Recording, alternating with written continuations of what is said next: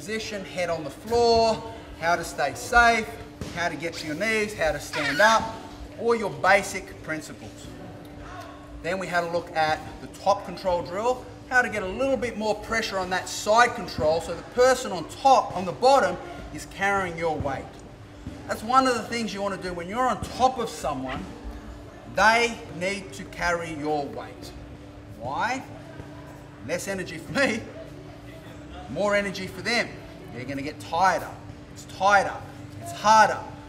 You can control which way you want them to escape to set up any of your attacks. We had a look at basic top control drill, moving from side to front or north-south to side, switching your base, going back to mount, and dismounting. Whole time, making sure the person is carrying your weight. Same thing, we went to mount, we learned how to go to side mount and keep control squeezing our knees and everything. From side mount, we had a look at the clamp arm bar, and it's one of those arm bars you don't rush with. Saying that, you can customize it, you can personalize it, take it your own, you can do a lot of things and change it, as long as you understand the fundamental of how clamp armbar works. Same thing with the king clamp. It's going to work on some people, not on others. It's going to take you a while. You may find you do it a different way or there's certain things, but make sure you understand the basic principle and the concept and then personalize it. One of the things I always um, look at when learning jiu-jitsu that I'm going to use is what I call a 90-10 rule. Every move that I, I most of the moves I, I, I learn will work on 90% of the people. There's always 10% of the people who are going to have a rubber arm, move a different way, do something weird that I'm not prepared for. Every single position has someone that's in that 10%. But saying that, everybody is 90% somewhere.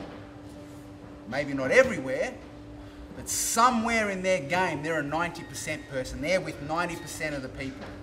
You just got to find that 90%. So you're better off working on moves that will work on 90% of the people than worrying about the 10% of the people who have rubber arms, really hard to choke. You can't do arm triangles with, or you do knee bars and they've just got no um, sensitivity in their ankles or knees. It's all right. Doesn't work with them. Go to another position. Maybe they're in armbar defense, they're a 90% person.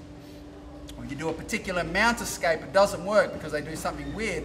But you go to another one and it works every time because they're 10% in one area but 90 in another. So that's really what I want you to think about when you're learning your jiu-jitsu, especially at the lower levels. The senior guys, of course, you can start building, adding crazy stuff and things that fit into your game.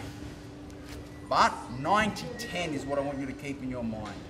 What will work on 90% of the people? And that's kind of what I do when I'm troubleshooting that move, uh, the king clamp that I've been working at.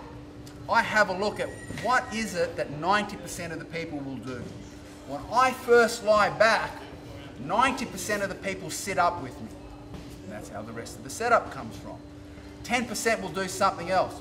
That's fine. I will then transition into another position. Maybe I'll end up on my back and I'll go for triangle. Maybe they're a 90% person when they're in my guard. Okay? So I don't worry about that 10%. For every position there are 10%, there's somewhere else there are 90. Does that make sense, guys? Yeah. And also saying that, take everything I've learned, make it your own. Because everything I learn is kind of, I try and adjust it for everyone that's here. There's tall people, short people, wide people, narrow people. And everyone's going to have to do things a little bit differently. And you will adjust it to yourself and personalize it. But still make sure you understand the basics behind that.